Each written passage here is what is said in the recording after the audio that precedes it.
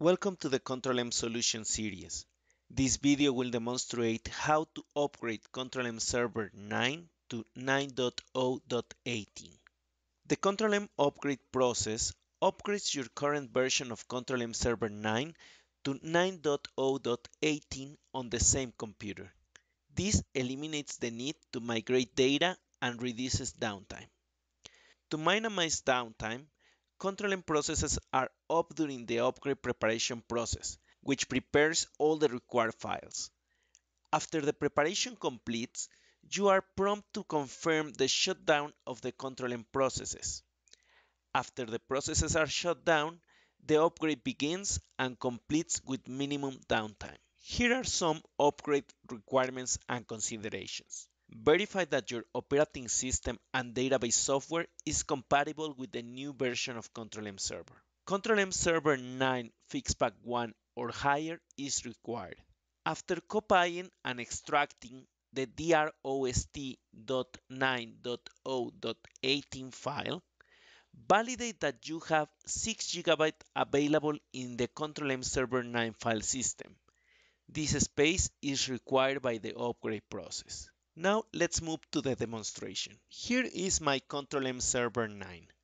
As you can see in my install versions file, I have Fixpack 4 install.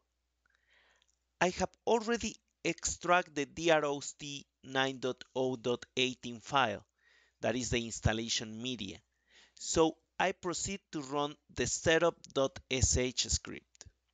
I enter Y to continue with the installation in non-graphical mode. The license agreement is displayed. I enter Y to continue. Control M automatically collects information on your product usage patterns.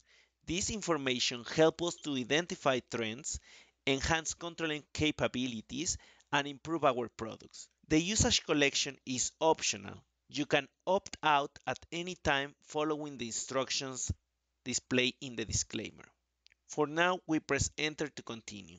Now I select the component that I'm going to upgrade. For this case, I select Control-M Server. I press enter to continue. The installation program detects that I have a Control-M Server 9 Fixpak 4 running on this machine, as we can see here in the installation path and current version. So I press enter to start with the preparation process. As we mentioned before, the preparation process which prepares all the required files without the need of stopping the Control-M server processes. We can monitor the progress of the preparation process by reading the messages displayed in the screen. Once the preparation process is finished, I'm asked to shut down the Control-M server processes to finish the upgrade. So I press enter to continue.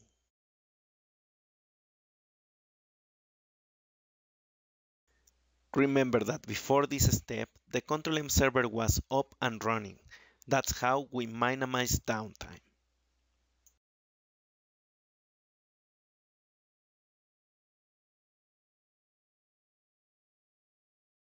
So I received the message that the upgrade has finished and it has been completed successfully with a minimum downtime. You can check the install versions file to validate that the Control-M server has been upgraded successfully. It shows the version 9.0.18. Finally, I enter to the CTM underscore menu to validate that my Control-M server is up and running. That concludes this Control-M Solutions video. Please see our knowledge base and YouTube channel for more videos like this. Thank you very much.